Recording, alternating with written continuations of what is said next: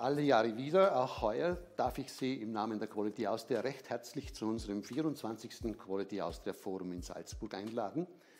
Äh, wie immer haben wir sehr, sehr starke und profunde Referenten eingeladen.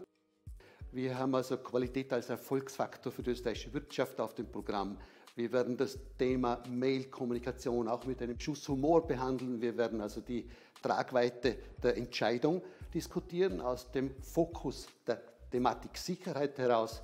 Äh, geht nicht, gibt es nicht. Das ist also aus dem Leistungssport, glaube ich, nicht wegzudenken. Und wie Sie wissen, wir versuchen immer den Kontext auch zum Leistungssport herzustellen.